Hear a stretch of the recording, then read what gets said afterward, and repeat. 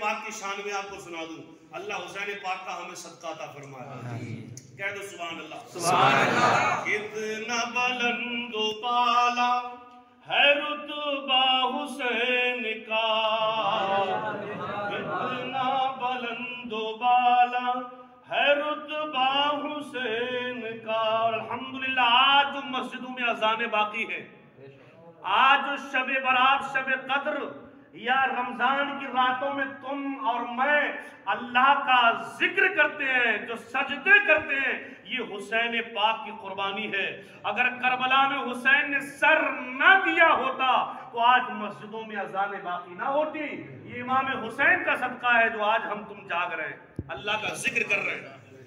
کتنا بلند و بالا ہے رتبہ حسین کا، ہے رتبہ حسین کا۔ کتنا بلند و بالا ہے رتبہ حسین کا، ہے رتبہ حسین کا۔ کہ لہرا رہا ہے آج بھی۔ کہ لہرا رہا ہے آج بھی۔ جھنڈا حسین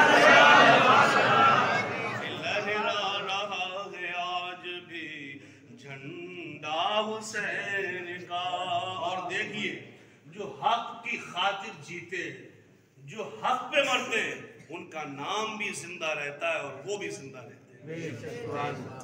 کہ نام و نشان مٹ گیا دیکھو یزید کا۔ مٹ گیا نہیں مٹ گیا؟ آج یزید کا نام نہیں ہے دنیا۔ نام و نشان مٹ گیا دیکھو یزید کا دیکھو یزید کا۔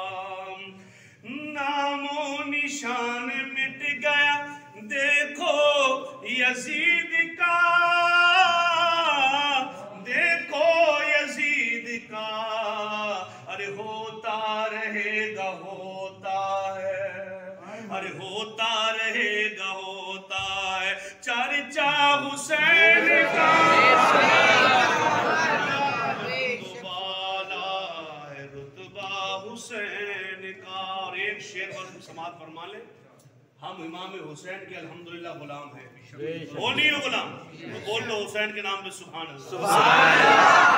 اور جو حسین کے باغی ہیں نا جو آج کل وہ جو چوبیس نمبر ہی آپ کہو گے لوگ کہتے ہیں کہ یار ان میں ہم میں کیا فرق ہے؟ وہ بھی نماز پڑھتے ہم بھی نماز پڑھتے میں بتا دوں آپ کو ایک فتوہ پوچھا گیا کہ محرم پہ حسین پاک کی محبت میں شربت پلانا یہ کیسا ہے؟ جائز ہے؟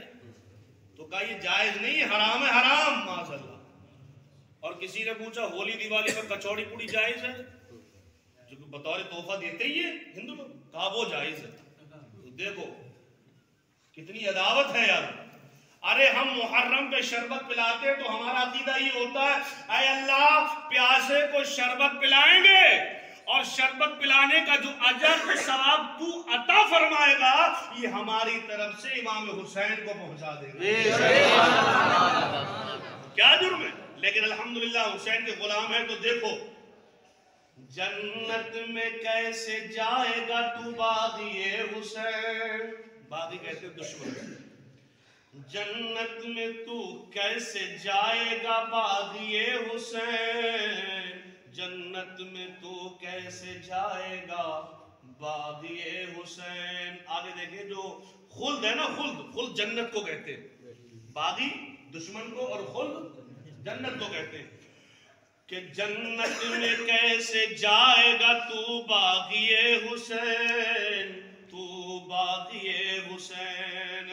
جنت میں کیسے جائے گا؟ تو باغی حسین۔ تو باغی حسین، کہ مالک ہے باغ خلد کے، کہ مالک ہے باغ خلد کے نانا حسین کا۔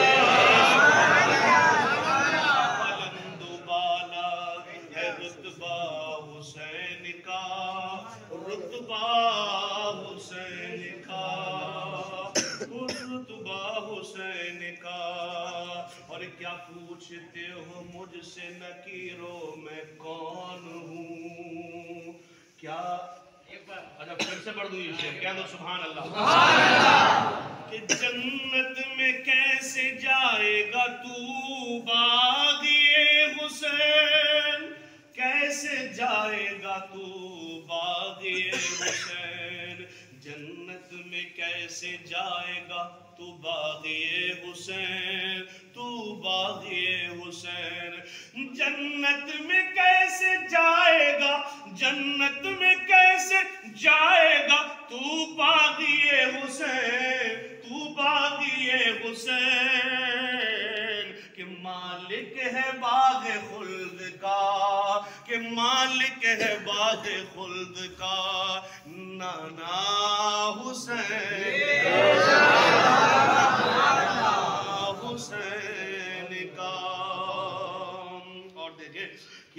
بوند ہی ملے جو پسینہ حسین کا حسین کا، ہو جائے خوشبودار میری قبر حشر تک۔ ہو جائے خوشبودار میری قبر حشر تک۔ ہو جائے خوشبودار میری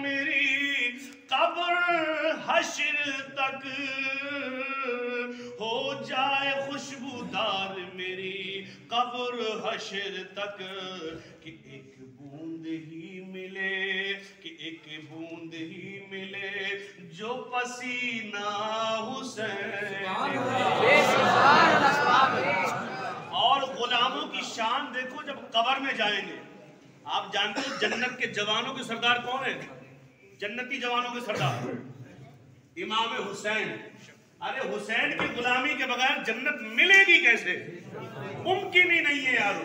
میرے مصطفیٰ نے فرمایا جو حسین سے حسن سے محبت کرتا ہے، وہ مجھ سے محبت کرتا ہے۔ اور جس نے حسن حسین سے عداوت کی، اس نے مجھ سے عداوت کی۔ تو پتا چلا کہ حسن و حسین ہمارا ایمان ہے۔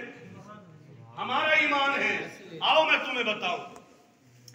کیا پوچھتے ہو مجھ سے نکیرو میں کون ہوں؟ نکیر جانتے ہو جو منکر نکیر آئے تھے زمین کو پھاڑتے ہوئے؟ کیا پوچھتے ہو؟ کیا پوچھتے ہو مجھ سے نکیرو میں کون ہوں؟ کیا پوچھتے ہو مجھ سے نکیرو میں کون ہوں؟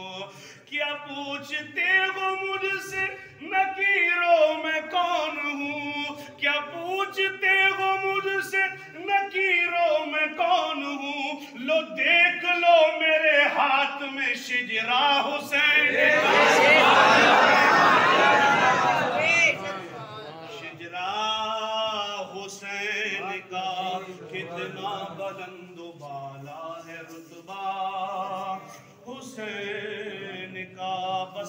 شعر ملازہ فرمائے پھر دو باتیں بتاؤں، پھر سلام پڑھیں۔ کہ بغداد ہو یا خواجہ کا اجمیر ہر جگہ،